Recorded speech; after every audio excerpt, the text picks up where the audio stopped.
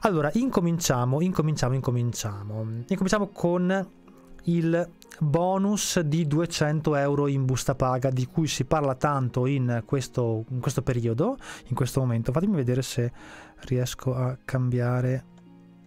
Ah, ok, eccolo qua.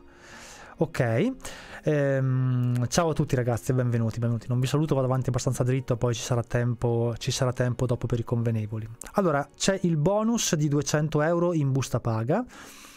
E non è ancora stato definito, ma eh, pare che questo bonus non poi riguarderà, ci ancora, stanno ancora discutendo, non è ancora stato definito eh, perfettamente, ma pare che questo bonus non riguarderà soltanto le persone che hanno eh, eh, un, un, un, lavoro, un impiego, ma pare che verrà dato anche forse ai disoccupati che ne faranno richiesta, ok? Comunque diciamo, eh, diciamo che se si ha un reddito che è inferiore ai 35.000 euro, quindi nel caso di single si chiama reddito della singola persona, nel caso di famiglie chiaramente è reddito familiare, questo è evidente, se si ha un reddito annuale che non supera i 35.000 euro, chiaramente si, si, parla di lordo, si parla sempre di lordo quando si parla di redditi, ok? Allora si può ottenere in busta paga un bonus una tantum di 200 euro, ok? Una tantum non è che ogni mese vi danno 200 euro, c'è un bonus di 200 euro, ok? Lo potete avere. Per i dipendenti e per i pensionati questa cosa dovrebbe avvenire in automatico, cioè non è necessario che ehm, si facciano domande di nessun tipo, i soldi vengono erogati in automatico in base a probabilmente la dichiarazione di redditi de, dell'anno scorso, dell'anno precedente e cioè, cioè, la dichiarazione dei redditi di quest'anno basata sui redditi dell'anno, sc- dell'anno precedente, ok, ovviamente come sempre, mentre per gli autonomi la cosa dovrà essere fatta su richiesta. Come verrà inoltrata questa richiesta non è ancora chiaro, ma è probabile che dovrà essere fatta eh, tramite l'INPS probabilmente, quindi ci sarà una procedura sul sito dell'INPS per fare questa domanda probabilmente. Non è ancora chiaro, non è ancora chiaro come si farà eh, a fare tutto questo perché stanno ancora discutendo dal punto di vista pratico, però è interessante sapere che se guadagnate meno di 35.000 euro l'anno avete diritto ad una, una tantum, un bonus di 200 euro in busta paga, ok? E sembra poi che sia eh, possibile eh, riceverlo, come dicevo, anche da parte di chi è disoccupato, anche da parte di chi ha il reddito di cittadinanza, eccetera. Poi nei prossimi giorni verrà definito in maniera più chiara, probabilmente. Probabilmente ricaricandolo tra qualche giorno su YouTube, queste notizie saranno per gli utenti di YouTube che ci stanno guardando, saranno già state divulgate, le notizie avranno già deciso eh, in merito a questo, ok? Quindi bonus di 200 euro in busta paga. Questo è il primo, il numero uno, il primo bonus che possiamo avere e che è stato confermato per tutto il 2022. Ok, tenete d'occhio quindi se siete autonomi il dell'Inps che perché probabilmente eh, sarà lì che dovrà essere inoltrata una domanda. Benissimo. Poi abbiamo il bonus, bonus psicologo quest'anno, ok? Non li ho messi in ordine di importanza, li ho messi in ordine sparso questi bonus.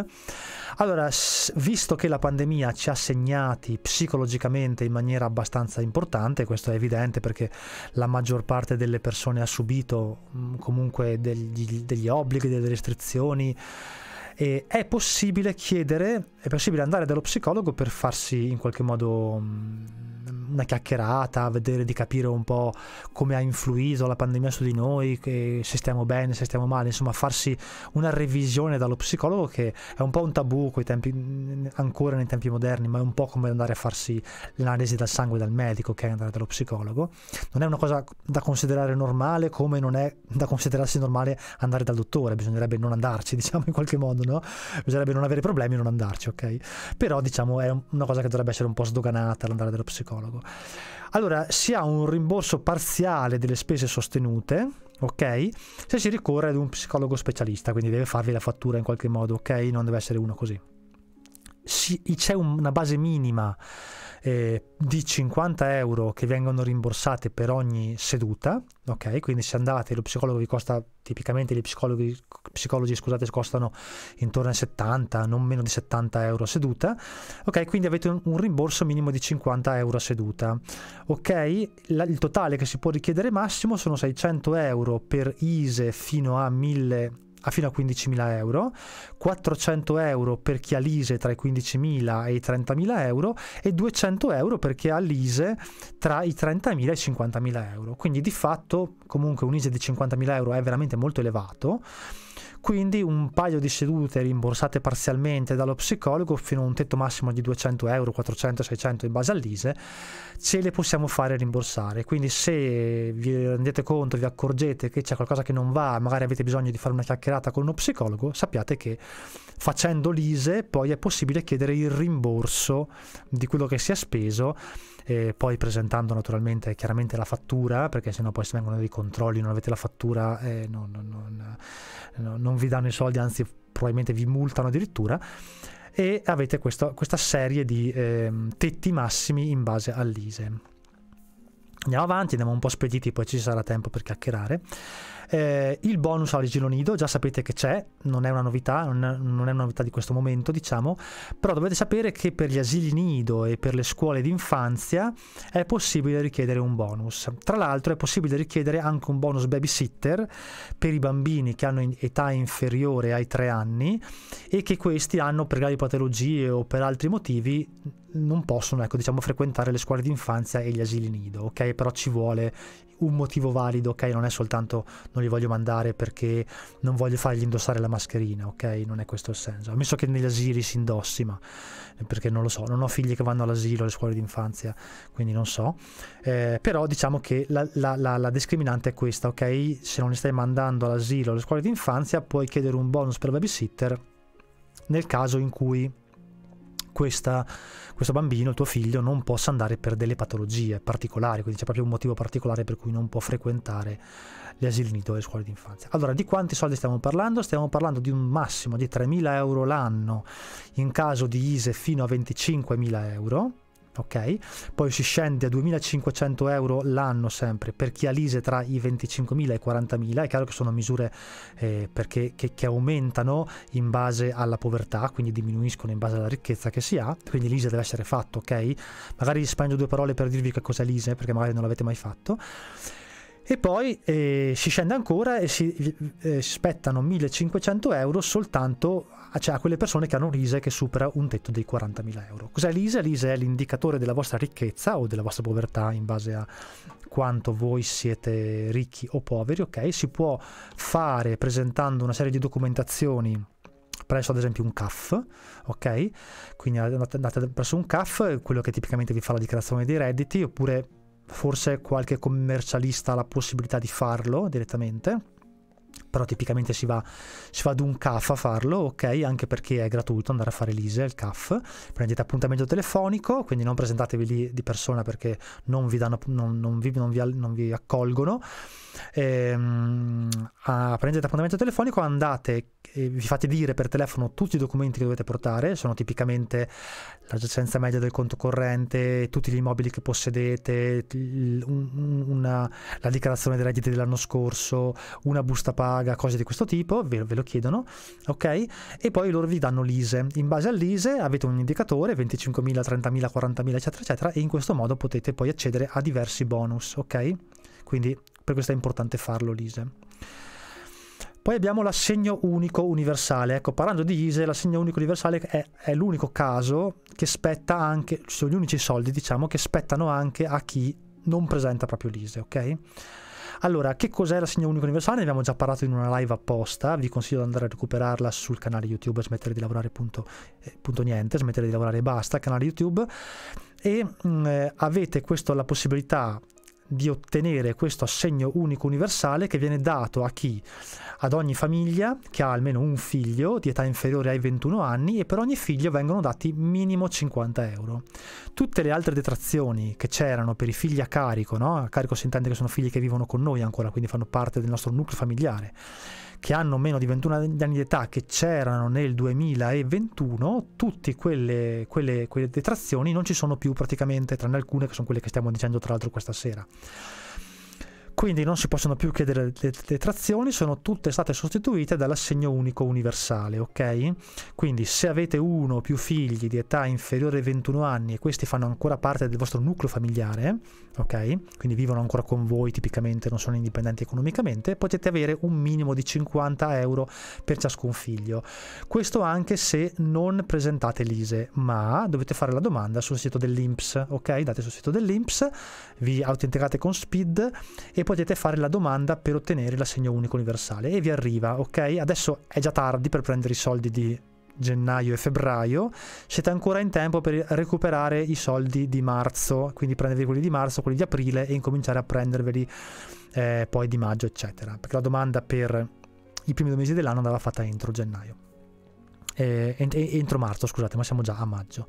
Si può arrivare fino ad un massimo, anche, anche, se ci sono dei plus dopo, ma comunque diciamo fino ad un massimo di 175 euro per ciascun figlio per chi ha un ISE inferiore a 15.000 euro. Quindi ISE inferiore a 15.000 euro si è davvero molto poveri, diciamo, però diciamo se sei povero e hai dei figli, puoi avere fino a 175.000, scusate, 175 euro a figlio al mese, ok? Sono soldi al mese questi che vi danno, quindi non è che sono proprio pochissimi, perché con 175 euro euro al mese per ogni figlio, eh, insomma ci fate ben ben la spesa e li fate mangiare, li vestite anche senza troppe pretese, ma li, man- li fate mangiare e li vestite.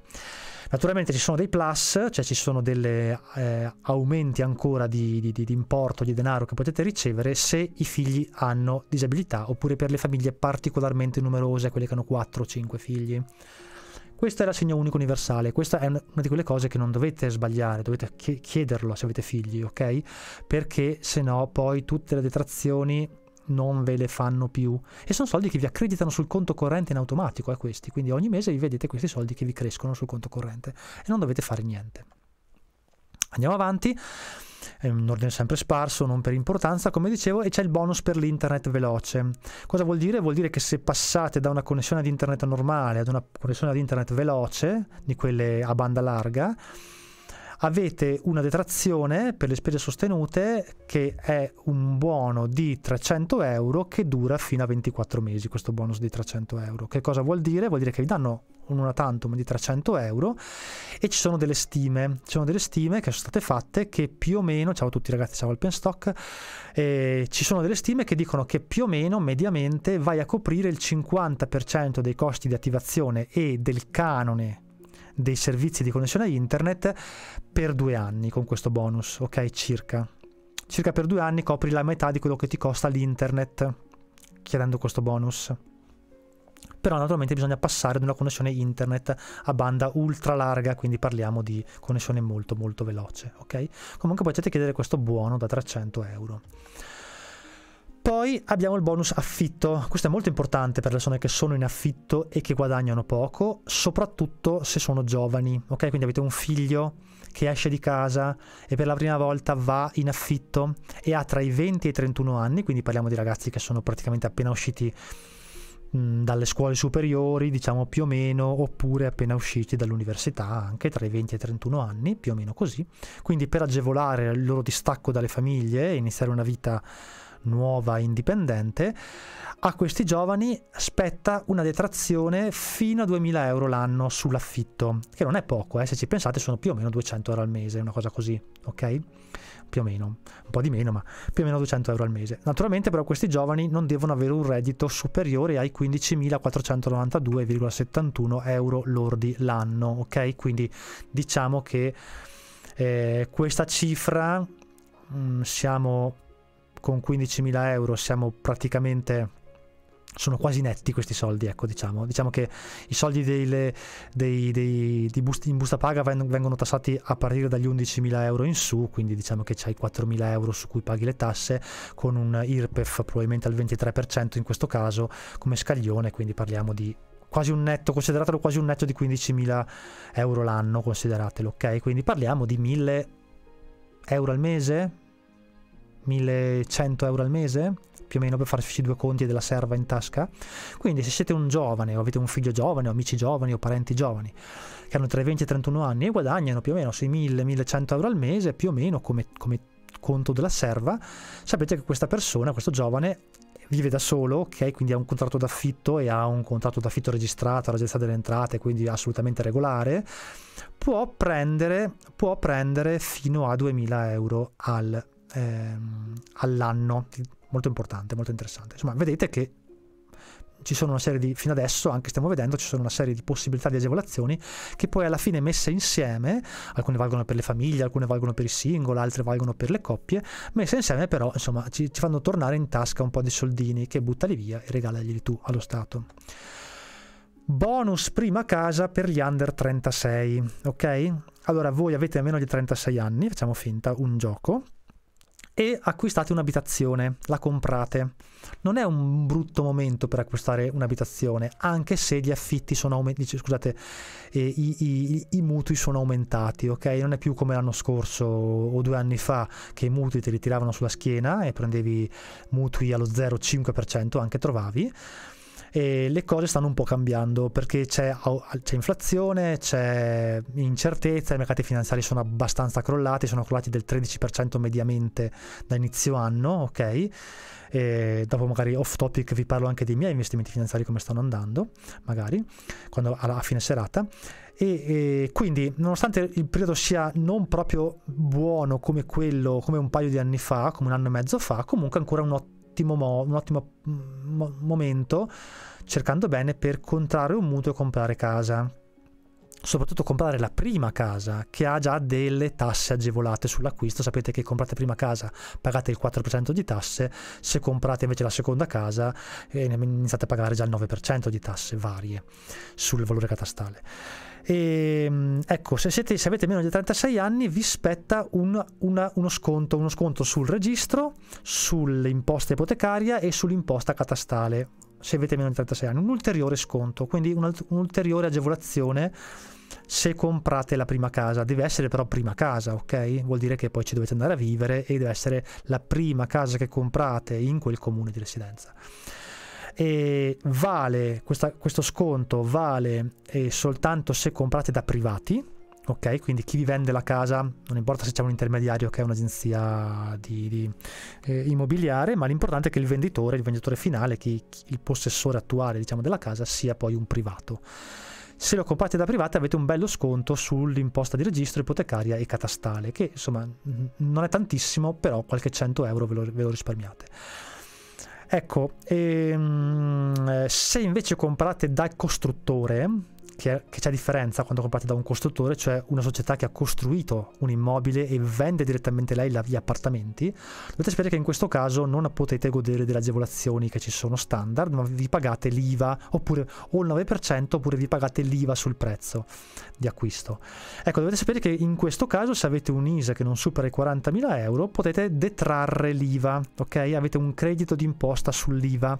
Questo vuol dire che quando poi voi prendete la vostra busta paga ogni mese, e ci pagate le tasse come tutti i cristiani sulla busta paga e potete detrarre da queste tasse un pochettino per un po' di anni, per dieci anni se non ricordo male, l'IVA che avete pagato quando avete comprato questa casa dal costruttore, perché vi lo ripeto, quando comprate la casa da un costruttore non pagate una percentuale sulla rendita catastale, ma pagate o una percentuale più alta, che è il 9%, oppure pagate ehm, l'IVA sull'immobile, ok? Quindi questo è interessante da sapere perché se, bisogna sempre tenere presente, forse qua potremmo fare una live eh, interessante, che ci sono tante persone che dicono che non bisogna comprare la prima casa e non bisogna fare un mutuo per la prima casa e invece questa cosa è sbagliata, ok? È molto sbagliato dire questo. Eh, può essere un problema se, eh, se il mutuo di cui avete bisogno sulla prima casa è enorme, è veramente enorme, allora sì è un problema perché vi condanna per tantissimi anni a dover pagare e magari non ce la fate, poi vi pignorano la casa, eccetera. Ma se invece vi serve soltanto una parte dei soldi, un po' chi li avete risparmiati, un po' che vi danno i genitori, eccetera, allora è un'ottima idea, e lo ripeto, lo sottolineo e lo sposerò sempre questo concetto, un'ottima idea contrarre un mutuo per acquistare la prima casa. Ok? And- ma andiamo avanti. Bonus trasporti pubblici. Ok, sono una quindicina questi bonus. Allora, se avete un reddito sempre in base all'ISE ovviamente, che arriva fino a 35.000 euro, allora potete avere un bonus sui trasporti pubblici, quindi sull'abbonamento che fate eh, ai mezzi di trasporto, quindi la metropolitana Milano, Roma, Torino che utilizzate per andare al lavoro, piuttosto che il treno, piuttosto che l'autobus che vi serve ogni giorno potete avere un bonus che copre il 100% della spesa, però con un massimo di 60 euro, ok? sul bonus dei trasporti pubblici Ed è, e questo bonus è valido fino al, a dicembre 2022 quindi insomma un bonus di 60 euro non è male è una cifra che potete avere se avete pagato un abbonamento annuale che magari vi costa, non lo so, 100 euro, 200, 300 euro, non lo so quanto costino gli abbonamenti alle metro nelle grandi città, io vivo in un piccolo paesino di montagna, quindi queste cose non le conosco, ma se avete speso, se avete speso 200-300 euro per farvi l'abbonamento, sapete che se avete un ISA inferiore a 35.000 euro potete farvi rimborsare fino a 60 euro, ok? E c'è tempo fino al dicembre 2022 per questa cosa. Bonus bollette e bonus sociale, ok? Allora questo è per i poverissimi, per le persone che hanno veramente pochissime entrate, pochissimi guadagni, perché dovete avere un ISE che è inferiore ai 12.000 euro, ok? Quindi se siete dei single, un ISE inferiore a 12.000 euro, praticamente siete nella no tax area, vuol dire che guadagnate meno di 11.000 euro l'anno, quindi guadagnate più o meno 1.000 euro al mese, una cosa così, 900 euro al mese, una cosa di questo tipo qua. Quindi comunque si guadagna molto poco, ecco, persone che guadagnano molto poco hanno un ISE di questo tipo. Dopodiché l'ISE dipende anche da altre cose che avete, eh? possedimenti, altre rendite, ok, ma qui il calcolo si complica, noi la facciamo semplice per capirci.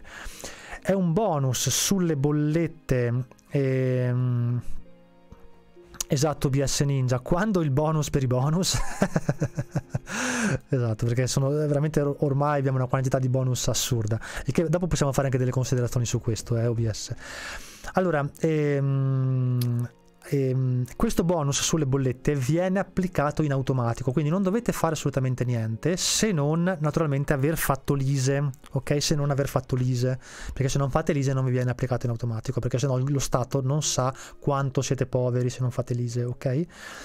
Quindi, ehm, quindi, cosa dovete fare? Se avete questo ISE sotto 12.000 euro, sapete che in automatico vi verrà applicato un bonus sociale e quindi vi verranno ridotte le bollette. La riduzione è in percentuale, quindi non, non, si può stabilire una cifra con precisione, ma dovete essere in regola con la, presenta- con la presentazione del DSU. Che cos'è il DSU? Lo potete trovare sul, sul sito dell'INPS, ok? Scrivete su Google INPS DSU oppure come compilare la DSU. La DSU è la dichiarazione sostitutiva unica, ok? Ok? Non, non entriamo nel dettaglio adesso, comunque è un qualcosa che fate funzionalmente all'ISE in qualche modo se siete in regola con quella presentazione di quel documento, allora in automatico vi, viene fatto uno sconto sulle bollette, il che è molto interessante e se, siete, se guadagnate poco non dovete perderla questa cosa perché le bollette saranno molto care ancora per parecchio, almeno fino a quando la situazione della guerra non si risolverà, il che è un'incognita, un punto di domanda enorme. Un punto di domanda enorme che sta condizionando anche molti mercati finanziari che potrebbero andare male ancora per diverso tempo se questa situazione non si risolve, ok? Benissimo, e poi eh, noi siamo quasi alla fine, c'è ancora il super bonus 110%, con il quale tra l'altro personalmente sto lottando molto, perché lo sto cercando di applicare all'immobile che, che, ho, sapete che ho un immobile in affitto e, eh, però è interessante sapere che il super bonus 110% è stato, eh, è stato ehm, prorogato fino alla fine del 2022 e non ci sono vincoli per i condomini, per le, le, case multifamiliari, non ci sono vincoli, c'è solo, hanno aggiunto soltanto un vincolo per le villette, le ville e le villette, quindi le case singole, che possono avere il super bonus 110%, che devono completare i lavori almeno per il 30%, ok? Quindi qui se poi viene un controllo naturalmente stabilirà poi il funzionario dell'agenzia delle entrate se il lavoro complessivo stabilito non è del 30% Mm, cioè quello che hai fatto non è del 30% rispetto al complessivo stabilito e questo 30% deve essere, ehm, deve essere fatto l'intervento entro il 30 di settembre. Eh, Albi dice attenzione non è confermato entro settembre, va bene, ok, queste sono le notizie che ci sono ad oggi in questo momento, ok? In questo momento sembra che entro il 30 di settembre bisogna avere almeno completato per il 30% i lavori e se li hai completati sei a posto, puoi prendere il bonus, se no eh, te lo tolgono il bonus e forse magari ti danno anche una multina. Comunque diciamo che è interessante sapere che è confermato per tutto il 2022. Poi 2023 non si sa, però diciamo che se la fine è quella del bonus facciate, facile che venga ridotto. Ciao Carlo, al nostro caro commercialista Francesco, un cordiale buonasera. Ciao Carlo. Oggi live veloce, eh, almeno, almeno poi diciamo per questo tema. Ok, poi abbiamo il bonus facciate. Cos'è il bonus facciate? Se non potete fare il 110 perché casa vostra o il condominio dove siete è un disastro rispetto a qua, ehm, ehm, rispetto alle planimetrie, rispetto a quanto depositato al catasto, le finestre sono più grandi, le scale sono storte, ci sono locali che non avete dichiarato, è un casino, quindi non volete mettere a posto catastalmente parlando il vostro immobile per poter accedere al 110, che questo è un vincolo che vi dà il 110, di essere a posto e di non aver fatto abusi, eccetera, potete però invece accedere al bonus facciate che non richiede, non è così fiscale, diciamo, potete farlo anche se la vostra abitazione non è proprio perfettamente a posto, diciamo, con con il, con il catasto, ok? E cos'è il bonus facciate? Potete rifare le facciate, comprese anche i poggioli e altre cose esterne. Dovete però essere, le facciate però devono essere eh, in un centro abitato, deve essere fronte strada, questa è un po' una regola eh, dell'immobile, ok? Perché serve per il decoro urbano in qualche modo. Allora, fino alla fine del 2022 avete la possibilità di avere il bonus facciate purtroppo non è più al 90%. Io l'ho fatto il bonus facciate l'anno scorso, abbiamo anche finito già i lavori e ci siamo rifatti di un condominio, una facciata gigantesca, bellissima, che sarebbe costata, costata tantissimo, invece alla fine è costata in tutto ad ogni inquilino tipo 300 euro, 400 euro in tutto, rifacendo anche i poggioli, una cosa ridicola. Purtroppo non è più al 90% come ne ho usufruito io, è una detrazione del 60% invece adesso, che comunque non è male, non è male, però non è più purtroppo quel bel 90% si può come sempre richiedere lo sconto in fattura oppure la cessione del credito. Qual è la differenza? La differenza è che lo sconto in fattura vi trovate già con la fattura decurtata del 60% e ci pensa l'impresa poi a recuperare il credito dallo Stato, come fa non ci interessa, oppure attraverso la cessione del credito che invece o si cede il credito ad un istituto finanziario, di una banca per esempio, oppure lo si recupera, si paga tutto, si paga il 100% e poi il 60% si recupera come detrazione IRPEF sulle tasse che poi a questo punto non pagheremo ehm, in busta paga oppure sui soldi dichiarati dai liberi professionisti, eccetera, eccetera, eccetera. Albi dice DSU è un modulo che trovi online sul sito dell'Inps, è un'autodichiarazione che devi compilare, attenzione ai dati inseriti perché si rischia penale poi. Viene usato anche per il reddito di cittadinanza. Se no, siete, grazie per la precisazione, se siete in dubbio andate a farvelo fare da un CAF, ok il DSU, chiedete un appuntamento al CAF e ve lo fate fare da loro. Non so se è gratis farlo da un CAF, però sapete che al massimo pagate 50 euro. Se siete poverissimi, i CAF vi fanno la metà anche dei soldi. Bonus ristrutturazione. Questa sera è una carrellata di bonus micidiali, ragazzi, però mi andava di farvi un po' il punto della situazione. Bonus ristrutturazione. Cosa vuol dire? Vuol dire che comprate o avete una casa da ristrutturare. Sui lavori di eh, ristrutturazione potete detrarre, grazie a Saxonica per dirmi che il DSU è gratis, grazie mille, la, la DSU anzi si dice Ehm, bonus ristrutturazione, eh, cosa vuol dire? Che se voi comprate un immobile e lo ristrutturate oppure a casa vostra la mettete a posto, tutti i lavori di ristrutturazione che sono configurabili come tali e qui vi aiuterà eh, l'architetto, vi aiuterà il geometra che vi farà appunto l'inizio lavori, la sicurezza eccetera a capire quali lavori rientrano avete una detrazione fiscale del 50% del totale. Quindi spendete 40.000 euro per rifarvi un appartamento di 200 metri quadri, ok? Più, più, no, scusate, di, di, 80 metri quadri, più o meno sono queste le cifre. Eh? Per 80 metri quadri rifare finestre, pavimenti, mh, sistemare un po' il bagno, spendi sui 40.000 euro. E, um, dipingere, eccetera, anche arredarlo, magari riarredarlo, magari anche avete una detrazione fiscale del 50% sul totale. Detrazione fiscale, il che vuol dire che vi sono soldi che non vi tolgono dalle tasse che pagate o in busta paga ogni anno, ok? Soldi che non vi tolgono più dalle tasse, cioè invece di prendere una busta paga di eh, 1100 prenderete una busta paga di 1300 perché quei 200 di, eh, di tasse che prima davate allo Stato non ve le tirano via perché avete questa detrazione fiscale, ok? Del 50%, ok? E c'è un tetto massimo di 96.000 euro, quindi se spendete più di 96.000 euro per ristrutturare, l'eccedenza, 90, quei 1.000 euro in più, 2.000 euro in più, 10.000 euro in più che spendete, quelli non li potete mettere in detrazione, ok?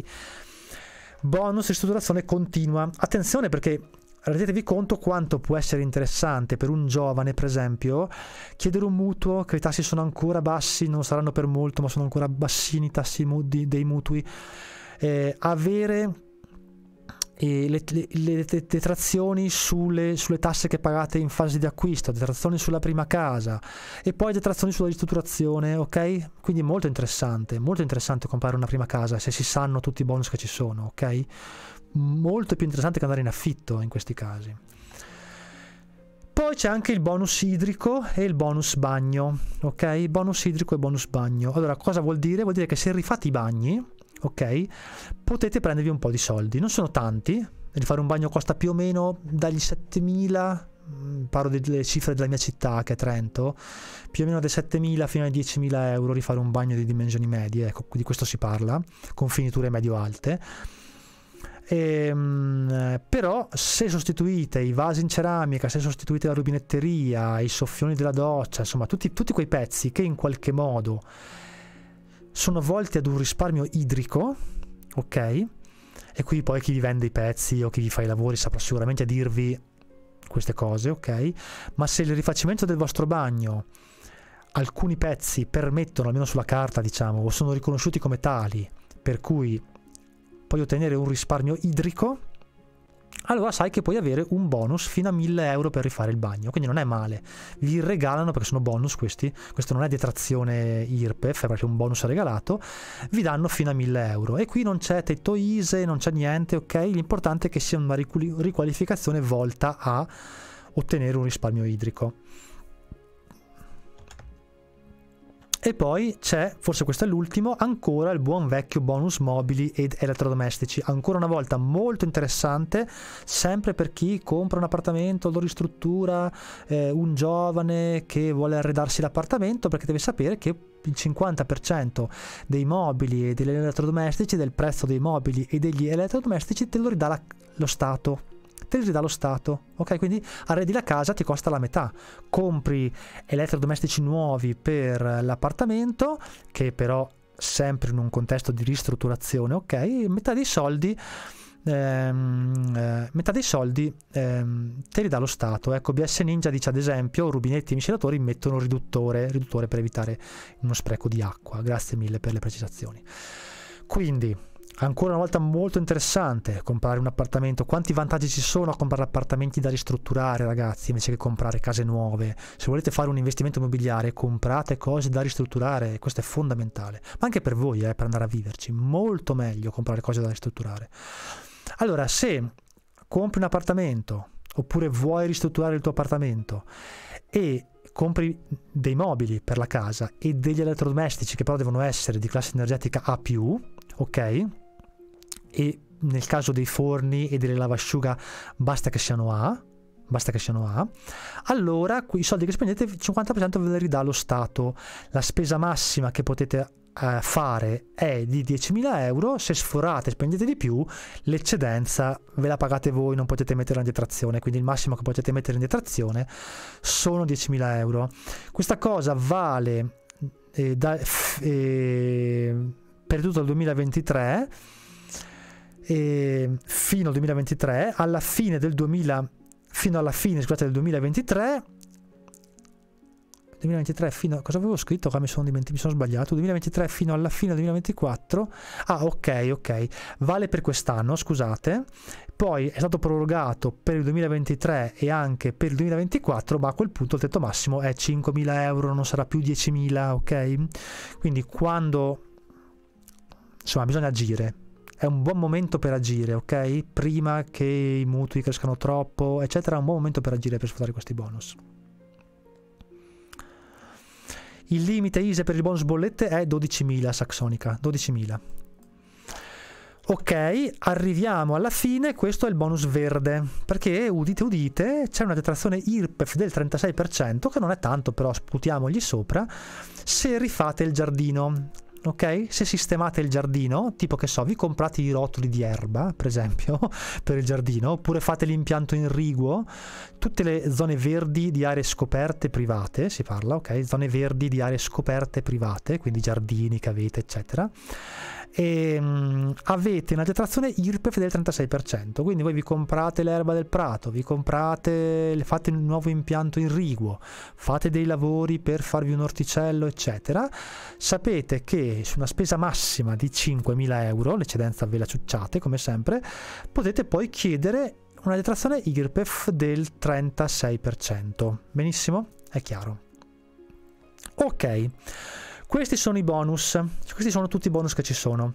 Adesso rispondiamo a un po' di domande, se ne avete, se volete fare qualche domanda eh, rispondo a qualche domanda vostra in tema e invece gli amici di YouTube che non ci seguono su Twitch si perdono le risposte alle domande.